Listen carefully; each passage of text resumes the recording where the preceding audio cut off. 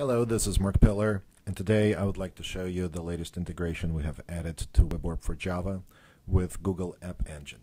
With the integration, you can deploy WebORB for Java inside of your Google App Engine application and uh, leverage all the functionality provided by WebORB, uh, specifically integration between all supported client types and Java services hosted inside of your application.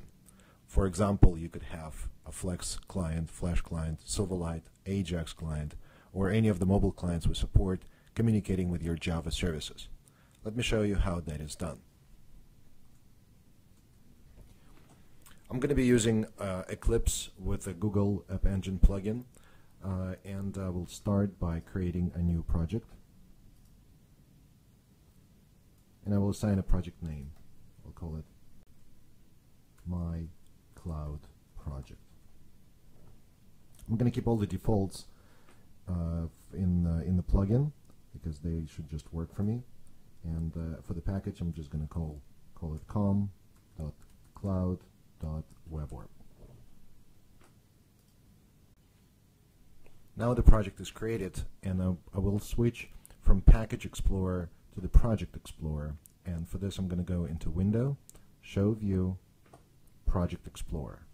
Project Explorer, I believe, is more convenient to work with because it is easier to configure it to show all the directories which exist in this project. Specifically, uh, one of the steps in the deployment, we will need to use this webinf classes folder, which shows up right here, but does not show up in the Package Explorer.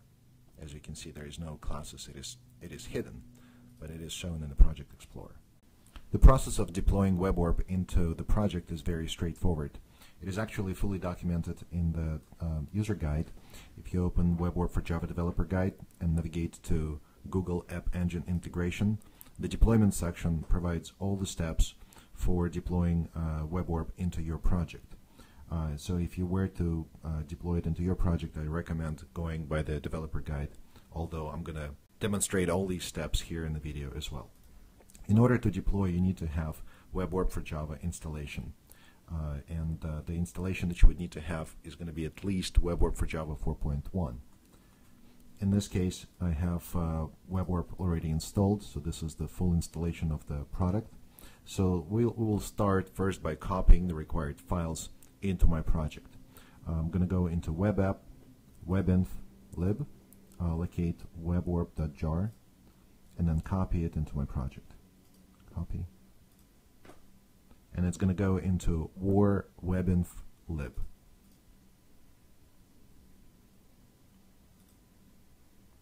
So in this case, weborb.jar is already deployed.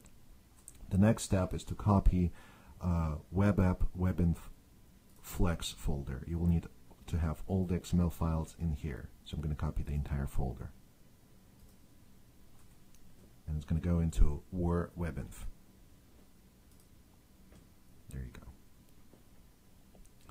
And finally, uh, we need to make a configuration change uh, to register WebORB as a servlet in the uh, in the application.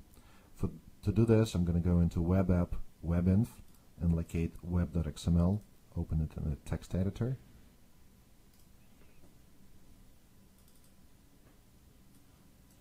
There are two sections we need to copy into web.xml in the uh, Google App Engine application file. One of them is going to be WebORB Servlet, this one. And here's web.xml in my project.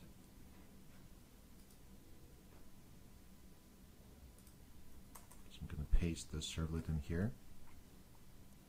And the second is going to be the servlet mapping for the WebORB servlet.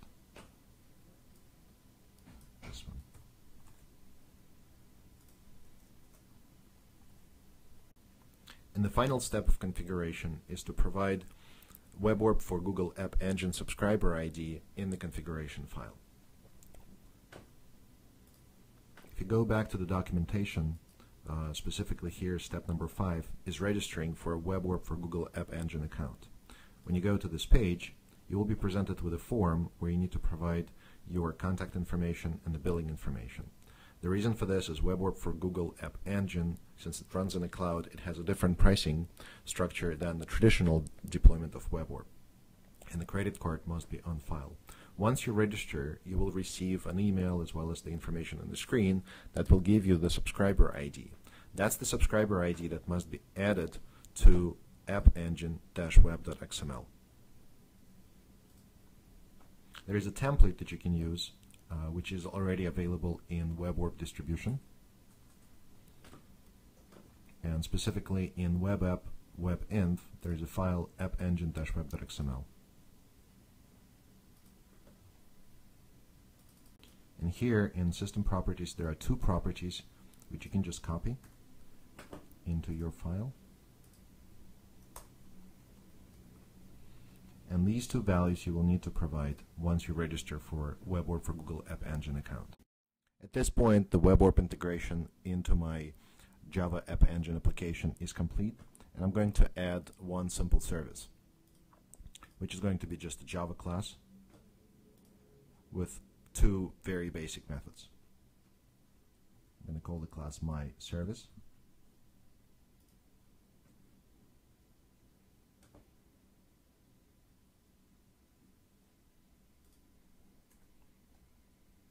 And the two methods I'm going to add are echo string, which will just return a string value it receives from the outside.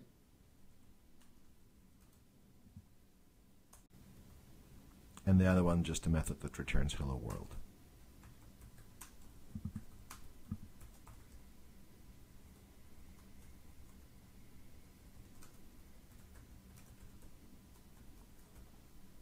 This basic Java class, uh, once WebORB is deployed in this application, and it, already is, becomes a service which can be accessed by any supported client, uh, including Flex, Flash, Silverlight, Ajax, and uh, all the mobile clients that we support. Now that uh, this application is complete, I can deploy it. However, for the demonstration purposes, I'm going to also deploy WebORB Management Console into this application, just so we can see the service without writing a whole lot of client code. The process of deploying Management Console is optional, and uh, it also consists of several files which must be copied into the structure of this project. First of all, under Web App, uh, Web App, and this is my WebORB installation. So under Web App, there's console folder, which I'm going to copy and put it under war. Under WebORB Assets, uh, CodeGen. There are several uh, XSLTs which we can use for code generation purposes, and I'm going to copy them all as well.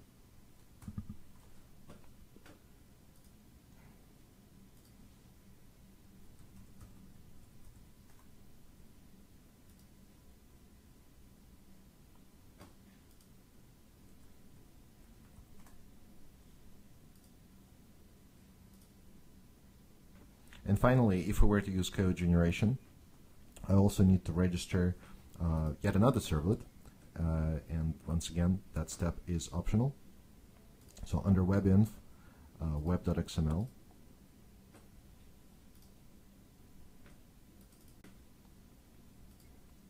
there's a servlet that is there to serve the functionality to download generated code. And you can see it right here. And that's going to go into my web.xml. And there is a servlet mapping for that servlet.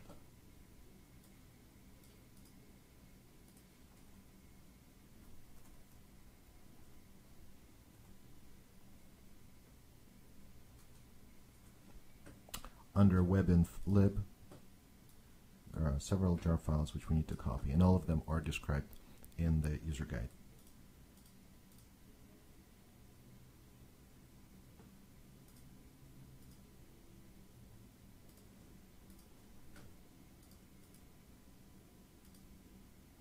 At this point, the management console will run in Google App Engine once this application is deployed.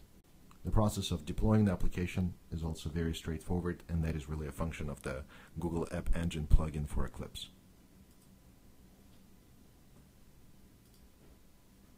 I have an application called WebORB Cloud.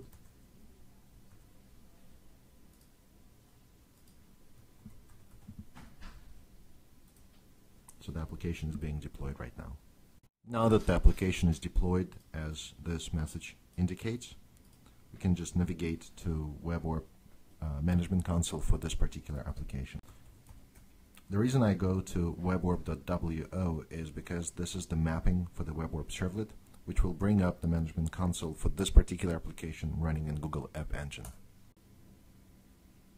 So this console is loaded, and um, the, the title indicates that this is WebORB for Google App Engine Cloud Edition. Under Services, I can just expand this node to see the services which are deployed into this application. So here it is, my service, the class that I added. If I expand, there are two methods, uh, echo string. We'll take an argument. I can invoke it. So this is an invocation of that Java service running in the cloud. And it just echoes this value back. Or say hello will just return hello world. Now, the code generation is also uh, part of this management console with the classes, with the, with the files which I have deployed. To demonstrate code generation, I can go with any supported client type, and all of them are listed here.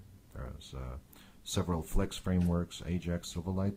So for the Ajax client, I can just select this, click Download Code, and I get a zip file which contains all the generated Ajax JavaScript code which will enable me to invoke methods on this particular Java service.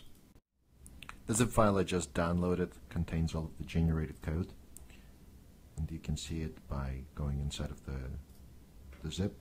So you can see that there's a HTML file which is just a sample application that demonstrates how to use the generated code and uh, as well as the WebORB Ajax library and the JavaScript containing all of the types required to run this particular example.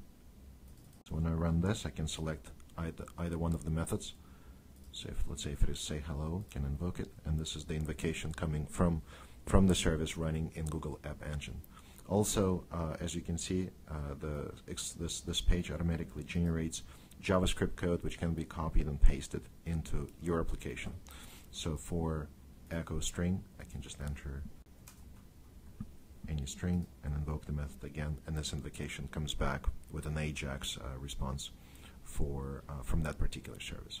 So this concludes the demonstration of uh, using WebORB with Google App Engine.